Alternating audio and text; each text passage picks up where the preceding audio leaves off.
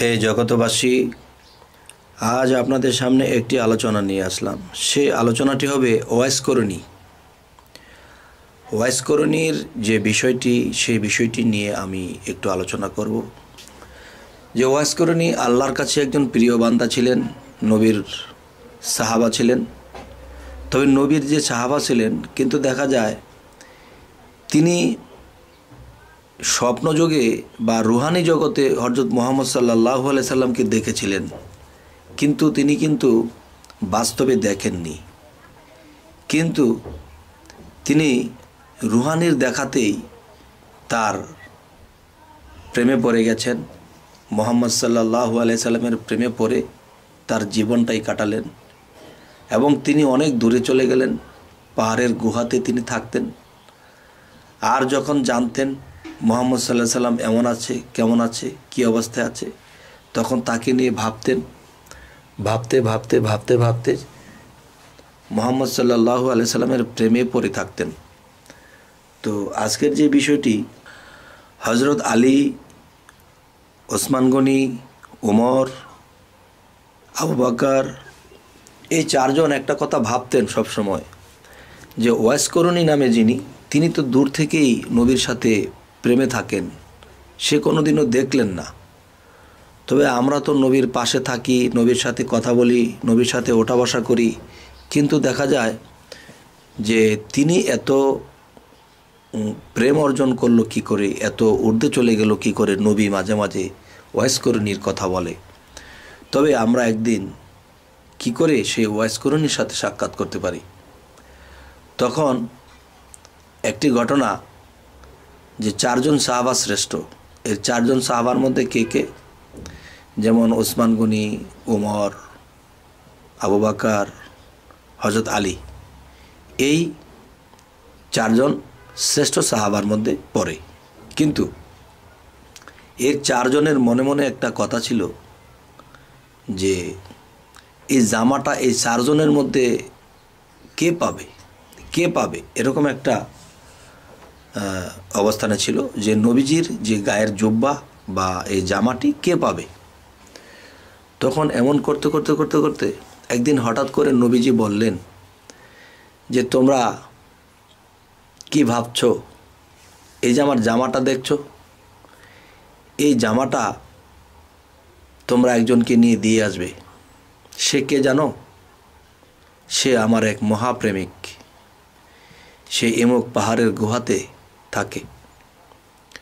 তোমরা তাকে দেখে এসো এবং তাকে আমার এই জামাটা দিয়ে এসো। তখন তারা এক একজনে হতাশ, আশ্চর্য হয়ে ভাবছে যে, এ কি? আমরা নবীর কাছে থেকে নবীর এই জামাটি লাভ করতে পারলাম না। আর এত দূরে থেকে ওয়েস করে নি এই জামাটা লাভ করে ফেলছে? তখন তারা কি করবে? নবীর কথা অনুসারে তারা চলে গেলেন জামা নিয়ে এই চারজন। এই জামা নিয়ে যখন চলে গেলেন, তখন গিয়ে ওয়াইসকরণীর সাথে যখন সাক্ষাৎ করলেন, তখন তিনি একটি স্থানে বসে আছে ধ্যানের দেশে। তখন তারা যখন গেল, তাদের সাথে কথাবার্তা বলতেছে এবং তাদের নামগুলো বলে দিচ্ছে। তুমি এমুক তুমি এমুক তুমি এমুক, তুমি আলী, তুমি ওসমান গনি, তুমি। তার আরও আশ্চর্য। তখন তখন হজরত আলী জিজ্ঞাসা করলেন যে, আপনার কাছে আমাদের একটা কথা জানার ছিল। সে কথাটি কি? সে কথাটি হলো যে, নবীর ধারে কাছে আমরা রইলাম। নবীকে এত ভালোবাসলাম, নবীর কথা অনুসারে চললাম। কিন্তু দেখা দেখা যায় যে এই নবীর জামাটা আমরা কেউ পেলাম না। এত দূরে থেকে আপনি নবীর জামা লাভ করেছেন। তখন ওয়াজকরণী বলতেছে যে হজরত আলী, তুমি একটু হাসো তো। হে ওমর, তুমি একটু হাসো তো। তখন তারা যখন হাসছিল, তাদের প্রত্যেকটা দাঁত দেখা যাইতেছে। যে তাদের দাঁতগুলো দেখা যাইতেছে, সুন্দর দাঁত নিয়ে হাসছে। তখন ওয়াজ করে বলতেছে যে, তোমরা আমাকে একটু হাসতে বলবা? তখন বলল হ্যাঁ আপনিও একটু হাসেন। তখন হাসতে গিয়ে দেখতেছে ওয়াইসকরণীর মুখে কোনো দাঁত নেই। এই বয়সে আপনার দাঁত কই? আপনার দাঁত তো একটাও নেই। তখন বলল, দেখো ভাই, যে আমি যখন আমি যখন শুনেছি নবী ওহুদের যুদ্ধে একটি দাঁত পড়ে গেছে, তখন আমি ভাবলাম, নবীর একটি দাঁত থাকবে না, আমার কেন দাঁত থাকবে? তখন একটি দাঁত সে নিজে একটা পাথর দিয়ে ভেঙে ফেললেন। এরপরে সে চিন্তা করল, নবীর কোন দাঁতটি পড়েছে? নাকি এই দাঁতটা পড়ল, নাকি ওই দাঁতটা পড়ল? তখন ওই পাশের দাঁতটাও ফেলে দিল। আবার কিছুক্ষণ পরে ভাবতেছে, যদি এই দাঁতটা না হয়, যদি ওই দাঁতটা পরে থাকে? তখন ওই দাঁতটাও ফেলে দিল। এখন ভাবতেছে এই দাঁতটা নাকি পড়ল, নাকি ওই দাঁতটা পড়ল। তো নবীর যেই দাঁত পড়েছে, আমার সেই দাঁত কি করে রাখি? তখন দেখা যায়, টোকাইতে টোকাইতে সমস্ত দাঁতগুলোই ফেলে দিলেন। তাহলে ওয়াইস এত প্রেমিক সে।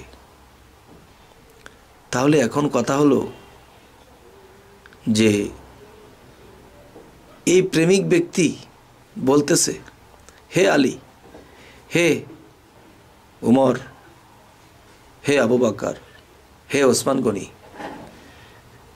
এখন তোমরা বলো যে নবীর দামাটা কি আমি প্রাপ্ত না তোমরা?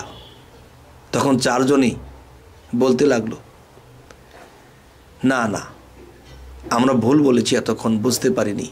আপনি নবীর যে প্রেমিক আপনি তো এই জামাটি পাওয়ার যোগ্যতা। আজ না আসলে নবী যদি আমাদেরকে না পাঠাইতেন, তাহলে এই বিষয়টা আমরা বুঝতাম না। তবে আপনার মতো প্রেমিক যেন পৃথিবীতে অনেক হয়। হে জগতবাসী আজকে আমি যে কথাগুলো বলতেছি, যে ওয়াসকরণী এমনই একজন প্রেমিক, যে এরকম প্রেমিক যদি আমরা হইতে পারি আমাদের জীবনের উদ্ধার নেমে আসবে। আমরা আর কখনোই বিপদে যাব না। এবং শুধু ওয়াইসকরণী কেন? এই পৃথিবীতে সমস্ত অলিয়া উলিয়া, সমস্ত নবী রাসুলদেরকে স্মরণ করে আমাদের কাঁদতে হবে। তারা অনেক কষ্ট করে গেছেন। এই ইসলামটাকে জাগ্রত করতে গিয়ে হজরত মোহাম্মদ সাল্লাহ সাল্লাম অনেক লাঞ্ছিত, বঞ্চিত, রক্তাক্ত হয়ে গেছেন। তবুও তিনি ধৈর্য ধরে ধরে গেছেন, ইসলামটাকে আমাদের হাতে তুলে দিয়ে গেছেন। আর ইসলাম অর্থ শান্তি। আর এই ইসলামের শান্তিটাকে আমরা এমনভাবে আঁকড়ে ধরব যেন বিশৃঙ্খল এখানে না আসে। হে জগতবাসী তো আমাদের এই আলোচনাগুলো যদি আপনাদের ভালো লাগে, অবশ্যই সাবস্ক্রাইব করবেন। আরও একটি কথা হলো, পরবর্তীতে ওয়াইসকরণী সম্পর্কে আরও কিছু আলোচনা করব আরও একটু গভীরভাবে। তো আজ এ বলেই রাখছি সকলেই ভালো থাকবেন। আল্লাহ হাফেজ।